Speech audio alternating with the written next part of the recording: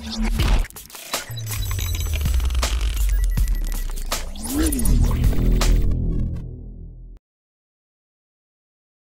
Friends sports பற்றின செய்திகளை உடனுக்குடனாக தெரிஞ்சுக்கொள்ள நம்ம தமிழ் கிரிக்கெட் சேனலை சப்ஸ்கிரைப் பண்ணுங்க.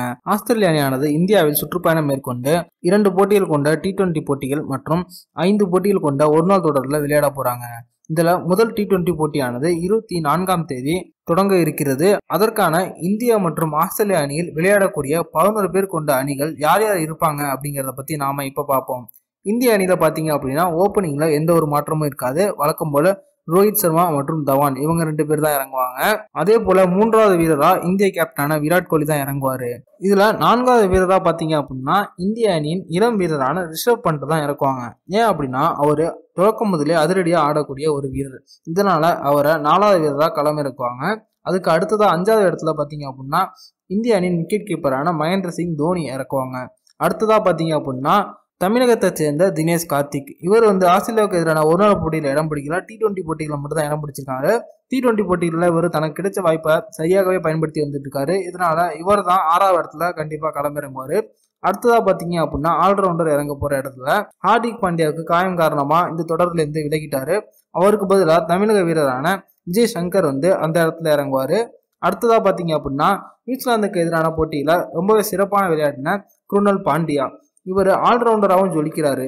அதனால இவர் விஜய் சங்கருக்கு அடுத்த இடத்துல இவர் களமிறங்குவாரு அடுத்ததா பவுலர்ஸ்ல பார்க்கும்போது சுழற்பந்து வீச்சாளரான யுவேந்திர சஹால். சுழற்பந்து வீச்சுன்னு பார்க்கும்போது குர்னல் பாண்டியா யுவேந்திர சஹால். இவங்க ரெண்டு பேரும் தான் இந்திய அணிக்காக சுழற்பந்து வீச்சாளர்கள். வேகப்பந்து வீச்சு அப்படின்னு பார்க்கும்போது அடுத்ததாக யுமேஷ் யாதவ்.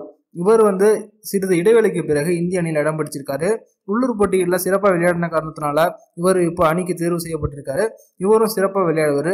அடுத்ததா சிறிது இடைவெளிக்கு பிறகு இந்திய அணியில் இணைஞ்சிருக்க ஜஸ்பிரீத் பும்ரா. நியூசிலாந்து அணிக்கு எதிரான போட்டியில் ஓய்வளிக்கப்பட்டிருந்த ஜஸ்பிரீத் பும்ரா இப்போ மீண்டும் அணியில் இணைஞ்சிருக்காரு இவர் கண்டிப்பா இந்த பதினோரு பேர் கொண்ட அணியில இறங்குவாரு. அடுத்ததா ஆஸ்திரேலிய அணியில எந்த பதினோரு பேர் இறங்குவாங்க அப்படின்னு பார்த்தா ஓப்பனிங் வீரர்களாக பார்த்தீங்க அப்படின்னா அந்த அணியின் கேப்டனான ஆரோன் ஃபின்ச் மற்றும் டி ஆர்சி ஷாட். இவங்க ரெண்டு பேர் தான் அந்த அணியோட ஓப்பனிங்காக இறங்குவாங்க. அடுத்ததாக பார்த்தீங்க அப்படின்னா உஸ்மான் கவாஜா. இவர் மூன்றாவது வீரராக களமிறங்குவார். இவர் தொடர்ந்து ஆசிரியர் அணிக்காக சிறப்பாக விளையாடி வந்துட்டு இருக்காரு அடுத்தது நான்காவது வீரராக பார்த்தீங்க அப்படின்னா ஹேண்ட்ஸ் காம்ப். இவர் தான் இறங்குவார். இவரும் ஆஸ்திரேலிய அணிக்காக நல்ல ஒரு டி டுவெண்ட்டி போட்டிகளில் நல்ல ஆட்டத்தை வெளிப்படுத்தி வந்துட்டு இருக்காரு பார்த்தீங்க அப்படின்னா அலெக்ஸ் கேரி அந்த அணியோட விக்கெட் கீப்பர் இவர் தான் ஆஸ்திரேலிய அணிக்காக அந்த இடத்துல களமிறங்க போறாரு. அடுத்ததா பாத்தீங்கன்னா அதிரடி ஆட்டக்காரரான மேக்ஸ்வெல். இவர் ஆஸ்திரேலிய அணிக்காக இந்த இடத்துல களமிறங்கி நிறைய போட்டிகளில் வெற்றி பெற்று கொடுத்திருக்காரு. கடைசி கட்டத்துல அடிச்சு ஆடுறதுக்கு வசதியா இருக்கும்ட்டு இவர் அந்த இடத்துல களமிறங்குவாரு.